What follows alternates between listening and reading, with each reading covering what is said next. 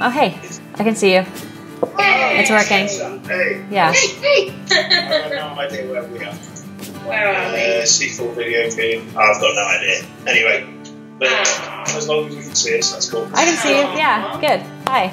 Yay, hi. oh, you look really pretty, by the way. Oh, thanks. You guys live next to you. Is this your place?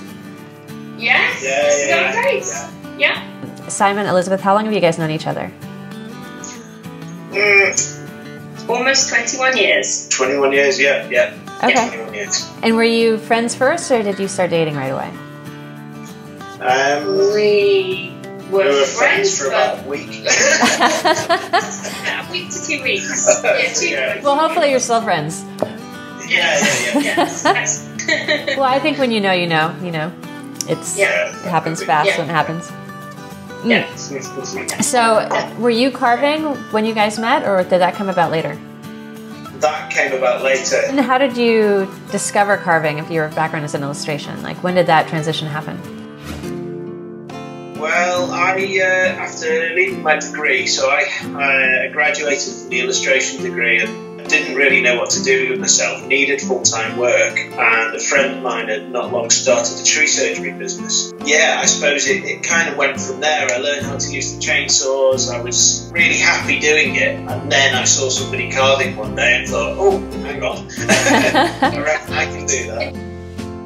How many years ago did, did you start carving? Um, it's about 2002. My boss that I was working for, the guy I was working for at the time doing tree surgery, he saw the uh, potential in it straight away and actually started hiring me out to his customers as an extra or an add-on to the job. You know, Yeah. take the tree down and leave a leave a small tree stump, and uh, for this much extra, Simon can carve it. So, when did you become independent and go into art full time? Well, I went I went part time in 2005. The sort of the catalyst for that was I carved at they had the English Open chainsaw carving competition for the very first time in 2004. I was invited to go and carve there.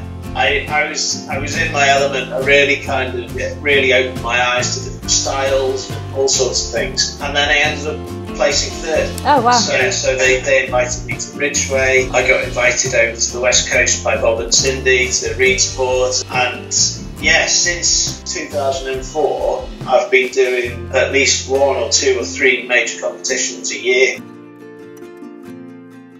I quit my job nine years ago to work Yeah. for you because the business was getting really, really busy, and you were like, I can't cope. I couldn't. I was, Yeah. I was double booking myself, triple booking myself. Well, that I have found that the the carvers that seem to be the most successful, it's usually a two person team. Yeah. yeah. The carvers that have uh, supportive spouses tend to cover the most ground, for sure. Yeah. Yeah, I think it's helpful. Yeah. So when we were at the Husky Cup, uh, we were singing around the campfire, and uh, all connected over enjoying The Greatest Showman. Yes. And we Yeah. sang Yeah. this. We sang the song "This Is Me," which has kind of become this like anthem for artists and weirdos, and you know people who don't fit in. Yeah.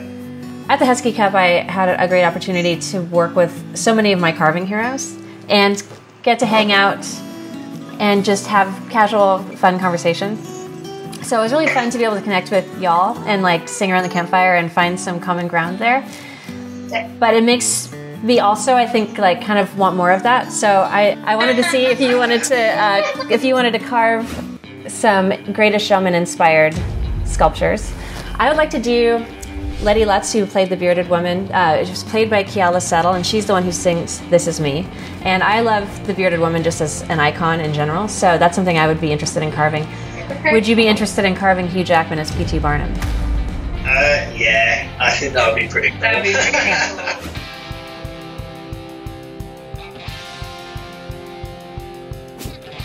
The piece of what I'm using, um, I just got a beautiful piece of cypress, which came down in some flooding we had in Texas not too long ago um, in Wimberley. There, uh, the Blanco River flooded, and it was pretty devastating. It took out tons of beautiful old cypress trees. And so the wood that I'm carving is from the flood, and I think it's interesting because from the song she says she's gonna send a flood.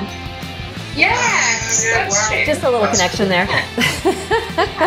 That's Oh, cute. nice, nice. Yeah, good Nice. connection. It's always. Yeah. I think it's always good to, to use salvaged materials and salvage wood when you can. Yeah, definitely. Definitely. Yeah, yeah, yeah, Yes. yeah. Yeah. No, that's awesome.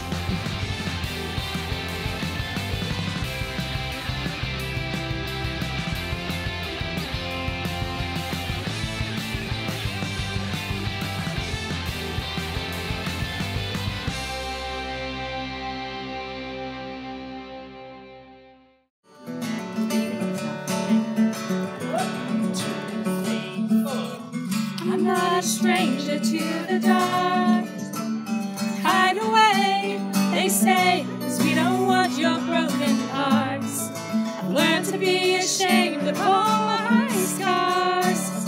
Run away, they say, no one will love you as you are.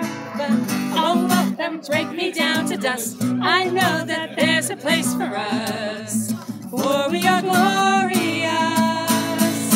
When the sharpest words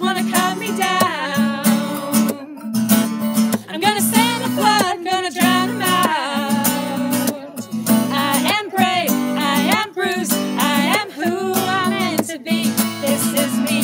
Look out, cause here I come.